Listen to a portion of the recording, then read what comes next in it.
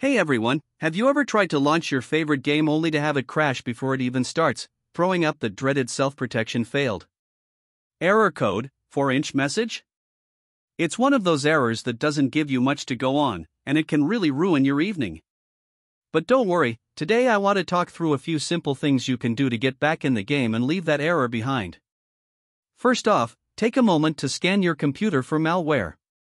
Sometimes, these protection checks get tripped up by suspicious files or remnants of old software, so a clean system is always a good starting point.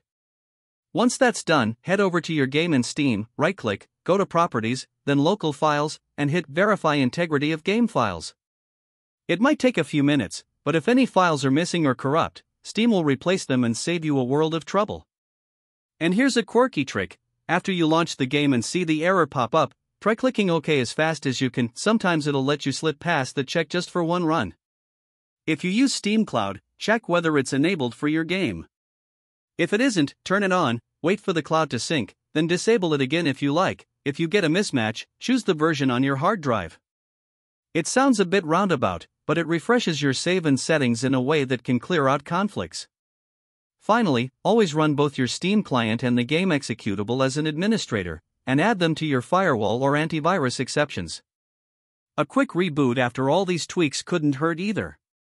Now, if you've been in this game for a while, leftover files from old installs can sneak in and cause issues. Uninstall the game, then manually delete its folder in your program files or wherever you installed it. After that, reinstall from scratch.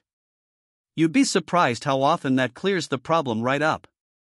There's also a more targeted fix for Unity based games. Navigate into the games directory and delete the Unity Crash Handler or Unity Crash Handler 64.exe. Some people have found that removing that file stops the self protection routine from failing.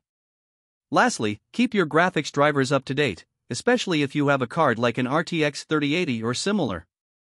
After updating, run another file verification. In some cases, users even bypass third party launchers like the 2K or Epic launchers by launching the game's executable directly. It's a bit of an advanced move, but if you're comfortable digging into your game folder, it can be the final piece that gets you back in. Give these steps a try and let me know in the comments which one did the trick for you. Good luck out there, and happy gaming!